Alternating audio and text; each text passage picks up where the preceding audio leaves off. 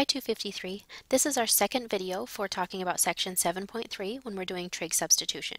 So in this video, let's start out by considering uh, integrals where there's an expression that looks something like this. So this a squared plus x squared. Remember in the last video uh, we talked about the other one, the a squared minus x squared. So now we're continuing with a new expression. So when we see an expression like this in our integral and we can't do any of the other options like a u substitution or integration by parts or something, uh, we could consider doing the following uh, substitution. So in, when we have this form appearing here, again remember addition is commutative so you might also see this written as x squared plus a squared, right? So that would be the same thing. Uh, then when we have that kind of a situation, we want to go ahead and do the following substitution. We want to let x equal a tangent theta. And let's see why that might be a good substitution to make. Again, it's going to come down to making use of the Pythagorean identity at some point. So when we have a squared plus x squared, that means we're going to have a squared plus this x squared is replaced with a squared tan squared theta, and because the a squareds can be factored out and left with a squared times 1 plus tan squared theta, the Pythagorean identity allows the 1 plus tan squared theta to be replaced with secant squared theta. And so again, just like before, we have replaced the operation of addition in that expression with an equivalent expression, but now one that only makes use of multiplication here and then some powers on a and secant. So again, whenever there are powers acting on this sum here, a substitution will allow those powers to act individually on each of these uh, these factors here, uh, moving across the multiplication, where with the addition it would have been stuck because the uh, power can't move across the addition. So let's try an example. So in this example, notice that we actually do have a situation where it says something squared plus something squared, uh, but it's not exactly a squared plus x squared. It's almost there, uh, but not quite. So let me get my, uh, my pen here for us. So let's see if we can manipulate this uh, inside the radical here so it looks a little bit more like what we might want to think about making a substitution on. Oops, not equals. That's totally wrong. There we go. Eraser's pretty cool. Okay, so we have 16 plus 4x squared. So if we instead write this as, uh, this is what, 4 squared plus 4x squared is actually a perfect square also, it's 2x squared, right? So what that means is we actually do have this written as a squared plus something squared. It's not x squared because I know there's already a variable of x there, right? But we do have something squared, right? Uh, so what that means is we can go ahead and make use of the trig substitution where we're going to make use of a tangent, but we just have to be careful about what we say the x is, right? Okay, so it's not going to be that x is equal to uh, uh, here it would be 4 for a, right? It, it's not going to be x is equal to 4 tan theta. We have to say the stuff here that was actually squared is equal to 4 tan theta. Okay, so in this case what we're going to do is we're going to let 2x equal 4 tan theta and that's a 4 again. I got to work on my 4s. The last 4 was also kind of tricky. So if we have a 2x is equal to 4 tan theta, because that's the, the thing that's in the position being squared over here, right? So if 2x is equal to 4 tan theta, then that means that x is equal to what? Uh, 2 tan theta when I divide both sides by 2. Okay, and when I've made that choice, again, I'm going to have to replace all the x's, so that means I have to replace the dx as well. So that means here that dx is equal to 2, what, secant squared theta d theta. Okay, let's go ahead and start making our replacements. So dx is 2 secant squared theta d theta over the square root. Okay, so now remember we saw just on the previous slide that uh, the inside stuff actually simplifies down really, really, really nicely, right? Uh, we just need to be a little bit careful here because we have uh, this issue of a 16 and the 4x squared, so let's just work it out carefully here. Uh, so we've got 16 plus, uh, what happens with this 4x squared? So remember, uh, that's really 2x squared, right? 2x, the parentheses, squared, right? And we know 2x is 4 tan theta. So what that really means is this is 4 tan theta. Ooh, those 4s. Ooh, those 4s are giving me trouble. Okay, let's try this again. Let's try this again. All right, I'm going to get the 4 this time. Okay, 4. Ha, yes. 4 tan theta squared. Okay? Because remember that 2x is 4 tan theta, and we know that it's 2x, the quantity squared that's actually living right there. Okay, so let's continue working this out. So I've got 2 secant squared theta d theta here in the numerator. In the denominator, notice this is going to be the square root of, uh, what? This is 16 plus 16 tan squared theta. Okay, but the 16 can be factored out, just like on the previous slide. So we're left with 16 times 1 plus tan squared theta. I'm really just outlining the steps we did on the previous slide, uh, showing the Pythagorean identity here. So we've got 2 secant squared theta d theta over what is this going to be? The square root of 16, 1 plus tan squared theta is what? That is secant squared theta. And now we can continue simplifying, right? So now we've got 2 secant squared theta d theta over, uh, what have we got? 4 secant theta okay? And again, um, because of how the, uh, the thetas are defined here when we're thinking about inverse functions, I didn't write it explicitly, but thinking about the inverse functions here, we're again on restricted domains. So we know that this secant is going to be positive, which means it comes out of the radical already positive, no absolute value needed. Okay, we can continue and simplify this, however. The 2 and the 4 can come out front as a 1 half, and the secants can simplify, so we're just left with 1 half secant theta d theta. Okay, so our work here, uh, actually in 7.2, uh, we have, we will have arrived at a formula for secant of theta. I'll be showing that to you uh, in class when we finish 7.2. So uh, using that formula uh, for secant of theta, I can actually directly uh, make use of it and figure out and write the antiderivative for secant of theta here. So when I write the antiderivative of secant of theta, I write ln absolute value secant theta plus tan theta absolute value and of course plus a constant of integration since we're dealing with an indefinite integral here. Uh, if you don't believe me that that's the formula for the integral of secant, the antiderivative of secant, uh, look up in, in uh, section 7.2 about halfway through the section. It's in a box uh, and you can confirm that there. Okay, so let's continue on here. So um, it looks like we might be done. I've written an equal sign to suggest that maybe we're not done. Uh, usually this is where you stopped. The problem is your antiderivative here for this function, this, this original integral here, uh, is written in terms of theta but your original expression is in terms of x. And there's a little bit of a discord here because your antiderivative should be in the same variable as your original problem. So what that means is we need to rewrite this expression here that's given in terms of x's, and it's currently in terms of thetas. So this is where it gets a little bit tricky because really what we need to do is say, well, if I know that tangent of theta is something, I have to rewrite it so that I know what secant of theta is. So this is where we make use of a little bit of uh, geometry using a right triangle. So notice that if we know here in this sort of area up here, this expression right here tells us some really important information. Okay, so I'm going to bring that down here so that I have somewhere to work with it. So if I know that x is equal to 2 tan theta, doesn't that tell me then that x over 2 is equal to tangent of theta?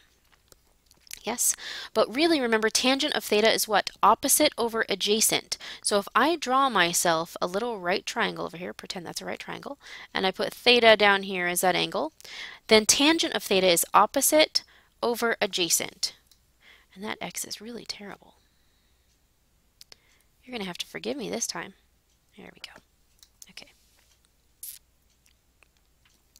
So that means this has got to be x, this has to be 2.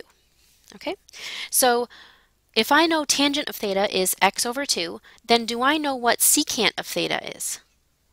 Well, secant of theta, remember, that's 1 over cosine, right? Secant of theta is 1 over cosine. And so if cosine is adjacent over hypotenuse, that means that secant is what? Hypotenuse over adjacent right? Using our trig, uh, our trig rules here with reciprocal identities. So that means I need hypotenuse over adjacent. Well, I don't know the hypotenuse of this right triangle, but we can figure it out. That's just an easy application of the Pythagorean theorem. So that means this is the square root of 4 plus x squared. Oh, that is just terrible. Oh, I know you're going to give me, you're going to give me slack about this when you see me on Thursday, aren't you? About all of these terrible fours. That's okay. I deserve it. Okay, so let's see. Let's make it nice. Square root 4. There we go. Plus x squared. Aha, there we go. All right, so if secant of theta is hypotenuse over adjacent, that means that we get secant of theta is the square root of 4 plus x squared all over adjacent, all over adjacent, which is 2. Okay, so that means we can start rewriting stuff here. So this is 1 half ln absolute value. What is secant of theta? Square root 4 plus x squared all over 2 plus tangent of theta. Do we know what tangent of theta is? Yep, that's x over 2. Close the absolute values plus c. We now have our final answer. This is our final answer. That, in general, is the antiderivative of that function there. Whew. So, this in general is what you're going to have to do making use of this little right triangle down here to figure out what some of the values of the trig functions are for that angle of theta. When you have another trig function ending up, or trig expression ending up down here in the ending uh, for your antiderivative, you're going to have to rewrite it so everything is in terms of x. Okay, let's consider our last form. So for integrals containing x squared minus a squared here, we need to let x equal a secant theta. And let's see why. So if we start out with x squared minus a squared, remember this is different than a squared minus x squared. They're different, right? So we have to do a different trig substitution. So if we have x squared minus a squared, then when we make a substitution here of x equals a secant theta, we get a squared secant squared theta minus a squared. Again, Pythagorean identities tell us that this is a squared tan squared theta. Okay, so let's go ahead and uh, consider an example. So in this, in this integral, notice that underneath the radical, we have an x squared minus a squared situation. Again, a trig or a u substitution is not going to be appropriate here because we don't have the ability to create an x when we do a u substitution. We would have u equals this and then a generating an x, but there's not an x in the rest of the, uh, the integrand here. This x cubed down here is not going to help us with that. So what we should do now is think about doing a trig substitution, and since we are actually this x squared minus, uh, 100, then that means we should do what kind of substitution? We should make use of secant, just like we talked about a second ago. So here in this case, a is 10, right, because it's x squared minus 10 squared. So I should do x equals 10 secant theta. And so since this is x equals 10 secant theta, then dx is equal to what? 10, what's the derivative of secant? Secant tangent, d theta. Okay, so let's start making some replacements here. Uh, by the way, there's this restriction on the value of x here just to make sure that what is underneath this radical is in fact positive, right? That's why we have that restriction there. Oh wait, let's start uh, replacing stuff. So dx is 10 secant theta tan theta d theta all over Okay, x to the third. So that's uh, what? Uh, 10 secant theta to the third. So 10 secant theta to the third square root. Now remember what happens with the x squared minus a squared in this situation. Remember that simplified down to what? Uh, a squared tan squared theta. If you don't remember that, back up in the video a few minutes, maybe a couple minutes and check it out. So x squared minus a squared simplifies down to a squared tan squared theta. So that means this simplifies down to 100 tan squared theta. Again, if you need to confirm that and work out the actual substitution, pause the video and do so. So let's uh, see if we can uh, cancel some stuff here because it looks like we got a lot of stuff going on here. Okay, so uh, let's see. We got 10, uh, oops, not 10.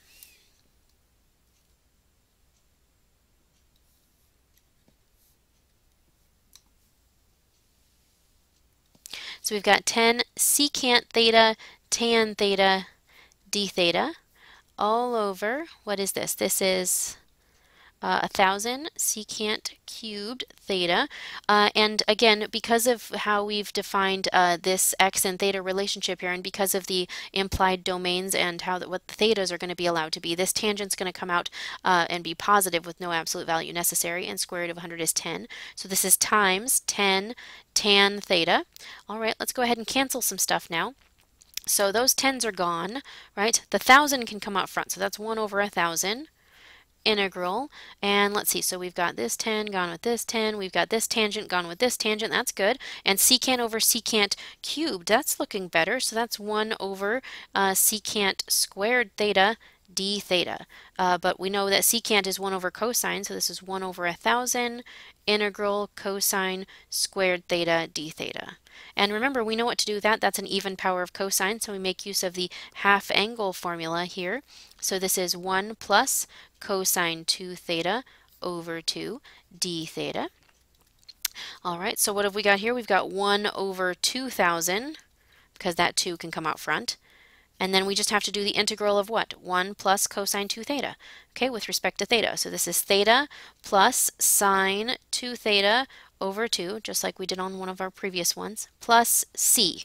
Okay, now again, it's really tempting to think we're done at this part, but we're not because our answer here is in terms of theta and our original integral is in terms of the variable x. And the two variables should match, right? Your beginning variable should match your ending variable here. So we need to rewrite this final answer in terms of our x's. Remember what we did last time? So we had to reinterpret uh, what we have up here in terms of the relationship between x and theta so that we can replace this stuff down here. So let's see if we can draw our little triangle like we had before. So uh, let's see, what does this mean right here, this relationship? It means we have x over 10 is equal to secant theta, right? Okay, so let's draw our little triangle. So what does that mean for our little triangle here? Okay, let's put a little theta right here. So secant, remember, is 1 over cosine, uh, and cosine is adjacent over hypotenuse. So that means this is hypotenuse over adjacent. So that means this is hypotenuse over adjacent. Okay, and we can figure out the missing side over here just in case we need it. For example, if we need to talk about sine of theta or sine of something, we might need opposite over hypotenuse, so we better figure out this third side. Making use of the Pythagorean theorem, we can see that this is going to be what? The square root of x squared minus 100. It's no coincidence that that's exactly what appears here, right? That's not a coincidence. Just like on the previous example, the expression we got here for the hypotenuse was the expression that was found in the actual integrand itself, right? That's not that's not a mistake. That's that doesn't happen by coincidence. That happens because we're making use of the Pythagorean identity a couple of times here. Okay? So let's see. Uh, let's figure out if we can actually make a replacement here. So we've got 1 over 2,000 uh, times, well, this is tricky. Let's see. This isn't asking me for actually the value of a trig function for theta. This is asking me for just plain old theta. So how can I write what theta is in terms of x? Let's see, how would I write what theta is in terms of x? Wait a minute. I know that x over 10 is equal to secant theta, so doesn't that mean theta is equal to secant inverse of x over 10? Yes, or you can make use of any of the other trig functions you like. Because we have this triangle defined here, you could, for example, make use of tangent. So you could say theta is equal to tan inverse of, what do we do, opposite over adjacent, right? Opposite over adjacent, you could make use of that. Uh, so square root of x squared minus 100 uh, all over 10, right? So you've got kind of some options here. There are advantages to using uh, tan inverse over secant inverse for like domain reasons and things like that. Uh, so just for fun, let's make use of uh, tangent inverse uh, here because tangent's kind of um, better behaved, I believe. So let's make use of this uh, theta is tan inverse. So then theta right there is going to be tan inverse of square root x squared minus 100 all over 10 plus, this is what? Uh, I need 1 half sine 2 theta. Well, wait a minute. I only have a triangle talking about theta. I don't have a triangle talking about 2 theta. Oh boy. But wait a minute. I think we actually can rewrite this value of sine 2 theta so it talks about angle measures of theta instead of angle measures of 2 theta. This is making use of the double angle formula, yes? Remember that sine of 2 theta is what? 2 sine theta cosine theta, right? So that means this is really uh, replacing with 2 sine theta cosine theta right here, but there's a 2 down here already. So that's just sine theta cosine theta, right? And actually, I will not write that right there because that's going to be where my value, my expression for x goes in, right? So let me rewrite it actually up here, right? This thing right here is actually uh, sine theta cosine theta. Okay, so let's replace what is written right there with sine theta cosine theta. And we know what sine of theta is because we have our triangle here to reference. Sine of theta is opposite over hypotenuse. So this is the square root of x squared minus 100 over opposite over hypotenuse over x times Oh my goodness, what do we have here? So let's see, cosine of theta, adjacent over hypotenuse. Close the bracket plus c. Whew. Okay, have we got everybody handled? Let's make sure we've got all of the parts put together. Yes, you could distribute the 2000 through if you like to make it look a little bit nicer, but that's everybody in terms of x and all of the trig functions entered, and we're good. Uh, so when we are in class together, we will work on a few more examples. What I'd like you to actually try for Thursday is the following problem. Get this one started for Thursday, and we'll be working on it together in class on Thursday. If uh, we're not meeting on Thursday, if this is another class listening to this video, I apologize. this is referencing uh, my class. So start this one for when we meet to discuss uh, section 7.3. And by the way, if you would like a little bit of extra credit, uh, if you uh, prove for me this uh, integral here, this definition of the integral, the antiderivative of secant theta. Uh, if you do that one, uh, proving it to me, uh, I'll give you some extra credit. So prove to me the antiderivative of secant of theta. Prove this formula here and give it to me by Friday and I'll give you some extra credit. Enjoy the rest of your Wednesday and Thursday.